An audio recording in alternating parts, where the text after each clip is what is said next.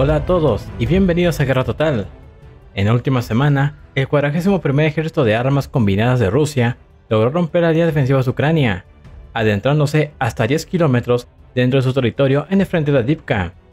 Esta maniobra ha demostrado ser más efectiva en solo tres semanas que lo que Ucrania, con sus brigadas entradas por la OTAN, logró durante toda su contraofensiva de verano. Ahora, lo que realmente pone en alerta es que las unidades avanzadas del ejército ruso están apenas a 10 kilómetros de la carretera T-0504, un punto clave que conecta Prokopsk con Konstantinivka, y adivinen, con Bakhmut.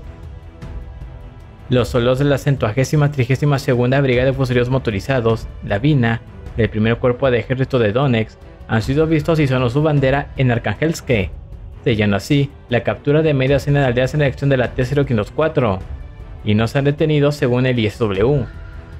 La toma de Arkangelsk también indica que los rusos también están con reloj Keramik y Novokalinove, ambas al noroeste, a lo que se suma Novobakhmutivka, Solovyove, Verdichi y Seminivka al sureste. Eso también puede ser confirmado por imágenes geolocalizadas del 3 de mayo, que muestran a fuerzas ucranianas retirándose del norte de Arkangelsk. El ejército ruso está superando claramente a las defensas ucranianas, y observamos cómo las unidades de combate de Ucrania huyen desorganizadas, con escuadrones completos capitulando ante las fuerzas rusas y un gran número de vehículos armados ucranianos abandonados, incluido un tanque Abrams y varios M2A2 Bradley, que quedan a disposición de los rusos, posiblemente para su nueva colección en Kubinka. El capitán de la Guardia Nacional Ucraniana, Volodymyr Cherniak, declaró que las brigadas rusas superaron las nuevas defensas ucranianas en Ocheretine y podrían formar una saliente porque las fuerzas ucranianas carecen de personal de ingeniería para construir posiciones defensivas rápidamente en respuesta a los avances rusos. Para finales de abril, las fuerzas rusas ya se encontraban en las proximidades de la fábrica de ladrillos al oeste de Ocheretine, lugar donde estallaron severos combates. Por ejemplo, a pesar de los mejores esfuerzos de Ucrania por mantener esta posición, los escuadrones rusos asaltaron el lugar y comenzaron a despejar toda el área industrial de Ocheretine, piso por piso. Una lucha brutal que recordó las batallas por Mariupol y Bakhmut. Imagina la situación, eres un soldado, ruso o ucraniano, en una zona industrial construida durante la era soviética, diseñada para resistir incluso una guerra nuclear. Estás atrapado en medio de un intenso bombardeo, con cientos de proyectiles cayendo sobre ti, mientras tu enemigo se oculta justo al otro lado de la pared. Estos combates rápidamente se esparcieron hacia las áreas circundantes, incluyendo caseríos y aldeas alrededor de Cheretino. Un claro ejemplo de esto fue la rápida caída de Novakhmutivka, seguida por Solovyove, donde presenciamos a los unidades de infantería rusa avanzando a través de zonas residenciales. Simultáneamente, otras tropas se establecían en trincheras previamente abandonadas, repitiendo un patrón observado en días anteriores.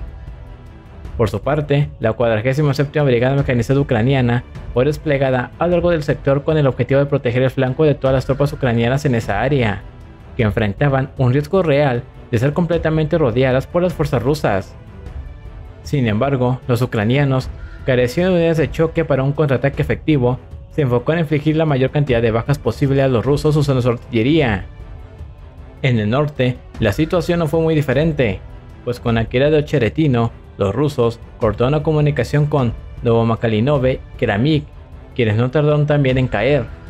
A estas locaciones se siguió Arkangelsk y, ahora mismo, los elementos del batallón ruso Lavina continúan supuestamente operando en el de Arkangelsk, mientras que los elementos del grupo Tabria, agrupación ucraniana encargada de la defensa de la zona, intentan frenarlos.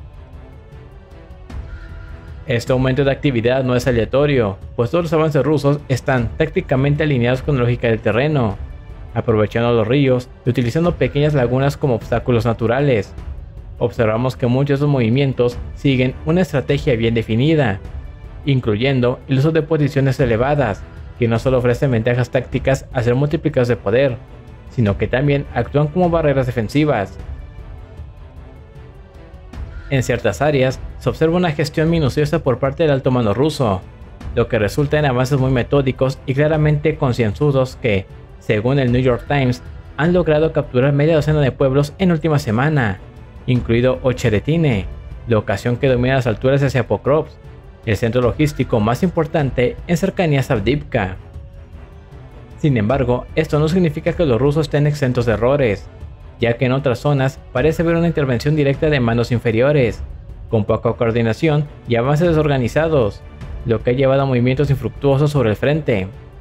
Por ejemplo, actualmente, Ucrania está utilizando principalmente drones y sus encambres para hostigar a las tropas rusas.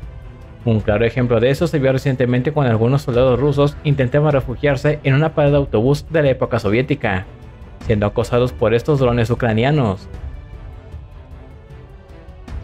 Otro ejemplo es Siminivka, un pueblo que es característico por pequeños estanques que los rusos tuvieron que cruzar, utilizando estrechos corredores. Seminivka es un lugar pequeño, pero crucial, y el ejército ucraniano defendió este asentamiento por más de un mes. Sin embargo, la superioridad en el poder de fuego de los rusos finalmente les permitió tomar control de la zona, especialmente al controlar los accesos al lugar. A pesar de esto, el panorama general táctico es positivo para Rusia, y las recientes victorias rusas resaltan el empeoramiento de la situación para las fuerzas ucranianas, que se encuentran superadas en armamento. La situación en el frente ha empeorado, expresó el general Alexander Sirsky, el comandante supremo de Ucrania, en un comunicado en el que reveló que sus tropas se han visto obligadas a retirarse de dos aldeas al oeste de Adipka. En este sector, las tropas rusas han logrado no solo ampliar su zona de control, sino también alejar el frente de sus ciudades importantes como Adipka y Donetsk, y acercarlo peligrosamente a un nudo logístico y táctico vital para Ucrania, Pokrovsk, el cual conecta mediante línea férrea con Adipka. La asistente estadounidense, aunque aprobada en un momento crítico por las tropas ucranianas, no ha demostrado ser decisiva y sigue siendo insuficiente, tanto en términos de armamento como de calidad, y no supera el de Rusia, ni en apoyo de personal, y, por el momento, parece que la única opción para Ucrania es retirarse tras una serie de barreras naturales basadas en humedales y ríos. La reciente llamada línea Bovcha sobre el río Bovcha ha estado sonando como la siguiente barrera a defender por Ucrania, lo que implicaría, en el peor de los casos, una retirada de otros casi 10 kilómetros por Ucrania desde Seminivka, lo que sumaría a casi 20 kilómetros de retiradas del inicio de la batalla de Adipka. El río Bovcha recorre las regiones de Dnipropetrovsk y Donetsk, extendiéndose por unos 322 kilómetros y abarcando una cuenca de más de 13.300 kilómetros cuadrados. Este río sigue su curso hasta desembocar en el río Samara, cerca del pueblito de Raduta, y de ahí sigue fluyendo hacia el gran río Níper y finalmente al Mar Negro. Pero lo realmente interesante del Bovcha es su papel como la principal parada natural cerca del frente de Adipka. Junto a él se encuentran localidades clave como Komishivka y Karlivka, y se extiende hasta Kurahovo, que es uno de los tres centros logísticos más importantes de la región de Donetsk. Los otros dos son Ocheretine, que ya está bajo control ruso, y Prokopsk. En este difícil contexto, el general Alexander Sirsky defendió obstinadamente la línea que se extendía desde Tonenke hasta Vertichi, sacrificando tropas para ganar tiempo y así poder preparar las defensas a lo largo del río Bovcha. Sin embargo, a pesar de esto, la línea de defensa de Tonenke y Verdichi fue finalmente superada por el norte, dejando a las fuerzas ucranianas en una posición bastante comprometida. Al verse cercadas por el río en un lado y las fuerzas rusas en los otros, las opciones de maniobra de Ucrania se reducirían drásticamente, pues esta disposición geográfica del terreno limitaría severamente su capacidad para recibir refuerzos o retirarse de manera segura en caso de un ataque intensificado. La situación puede ser peor, especialmente en el norte. Si los rusos logran tener control de fuego sobre los cruces del río y los caminos que desprenden de estos, pues no solo restringirá el movimiento físico de las tropas ucranianas, sino que también podría utilizarse para cortar suministros de recursos esenciales como alimentos, municiones y atención médica, aumentando así la vulnerabilidad de las tropas cercadas. Esto también permitiría a los rusos bloquear los suministros hacia Konstantinivka, los cuales a su vez se ven amenazados por el avance ruso en Chasiv donde el alcalde ucraniano confirmó que la batalla ha llegado a las afueras de la ciudad, abriendo el paso para que sea tomada por las tropas rusas. Su pérdida podría dar a Rusia una posición propicia para avanzar sobre Konstantinovka, la última barrera antes de llegar a los centros urbanos fortificados de Slaviansk y Kramatorsk. Por esta razón, Sirsky ha organizado sus fuerzas en defensa a lo largo del río Bovcha y en las ciudades fortificadas de Komishivka y Karlivka. Pero el ejército ruso no solo se lanzará directamente hacia estas ciudades, sino que planea una maniobra envolvente desde Cheretine, complementando sus avances, posiblemente desde Neteilove, al sur de Adipka, creando una especie de zona de fuego o una suerte de cerco operativo sobre las tropas ucranianas que se encuentran por delante del río. Para ejecutar esta maniobra, los rusos están asegurando los flancos alrededor Cheretine, para impedir que los ucranianos puedan disminuir las salientes que se han formado contraatacando por los flancos. Esta situación es muy similar a la que ocurrió en Ucrania durante su ofensiva de verano de 2023 en Zaporilla. Al capturar Robotino, se esperaba que los ucranianos se expandieran o florecieran, avanzando hacia otras localidades, como Verbove y Novopokrovka. Pero esto no ocurrió, debido a la superioridad de artillería rusa y los densos campos minados que limitaron la capacidad de maniobra ucraniana. Sin embargo, en este caso, Rusia está avanzando bajo su propia superioridad artillería y aérea, lo que les ha permitido expandir sus salientes de Ocheretino, creando un efecto dominó que resultó en la captura de todas las localidades importantes de la zona, lo que da más espacio en el frente, para un movimiento más fluido de sus unidades. Observando el tipo de avance y las tácticas utilizadas para presionar a Ucrania desde Dipka y Bakhmut, parece claro que el objetivo ruso no es romper el frente y hacer colapsar las defensas en un sector específico, sino más bien ejercer presión sobre los puntos logísticos claves de Kiev en el frente de Donbass, que es una prioridad en la guerra terrestre para Rusia. Estamos viendo una guerra de desgaste y, considerando la creciente preocupación mediática sobre la escasez de suelos que enfrenta Ucrania, parece que esta estrategia está empezando a dar frutos. No se busca un avance relámpago, que sería imposible en las zonas más fortificadas del frente, y que exigiría a Rusia más recursos y personal del que dispone en cada sector de un frente que se extiende por centenares de kilómetros. El objetivo es más bien erosionar la capacidad de ataque y defensa de Ucrania, desgastando sus mejores unidades de combate. Aunque esa estrategia se ha mantenido durante más de dos años de participación rusa en la guerra, es ahora cuando realmente comienza a mostrar resultados de una forma tan directa.